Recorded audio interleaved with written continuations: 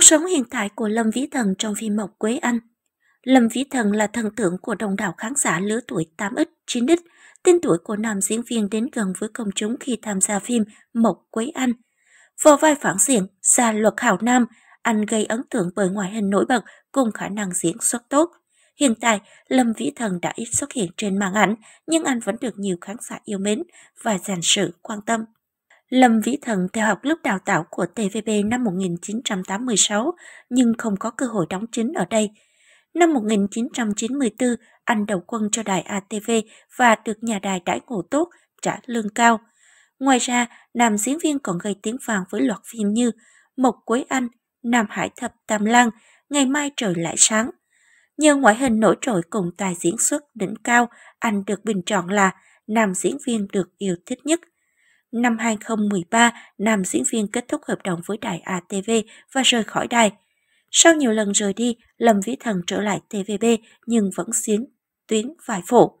Có nhiều kinh nghiệm trong nghề, anh tập trung vào thế mạnh của mình là đóng các vai phản diện. Nhờ khả năng diễn xuất tốt nên dù phải cạnh tranh với lớp diễn viên trẻ, sau năm sinh năm 1962 vẫn nổi bật theo một cách riêng.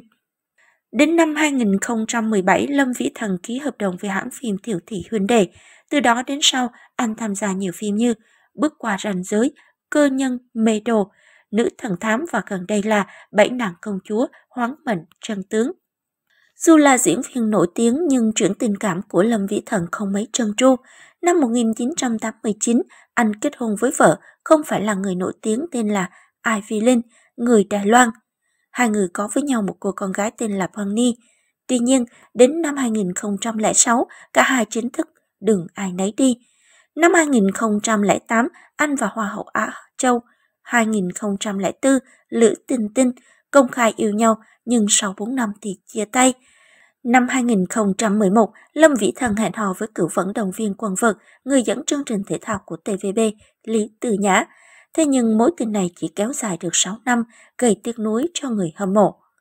Sau khi vợ chồng nam diễn viên ly thân, Pony ở với mẹ, dù vậy anh không ngại bày tỏ tình yêu thương của mình và đến thăm con gái hàng tuần. Được biết nam diễn viên luôn dành thời gian để quan tâm, chăm sóc cho Pony. Nam thần tưởng còn cho biết anh cùng vợ cũ luôn đi học phụ huynh cho con và không để Pony thiếu thốn tình cảm. Ngoài ra khi Pony đi du học ngành quản trị, khách sạn ở Thụy Sĩ, nam diễn viên cũng thường xuyên đến thăm. Hiện tại Lâm Vĩ Thần đã bước sang tuổi 60 nhưng vẫn giữ được vẻ ngoài trẻ trung phong độ. Ngoài ra nam diễn viên còn gây chú ý bởi làn da đẹp, khỏe khoắn. Sau phim Mộc của anh rất chú trọng việc giữ gìn sức khỏe và có nhiều kinh nghiệm chăm sóc da. Bên cạnh đó, Lâm Vĩ Thần còn gây bất ngờ cho người hâm mộ khi cho biết đã quy y từ năm 2004. Do có nhiều năm ăn chay nên làn da của anh luôn khiến nhiều người siết xoa.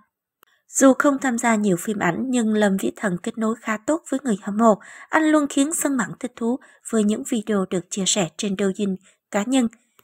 Những khoảnh khắc từ đời thường đến khi làm việc đều được nam diễn viên đăng tải. Vĩ Thần gây chú ý bởi phong cách ăn mặc trẻ trung cùng những chiếc áo thun sẵn điệu.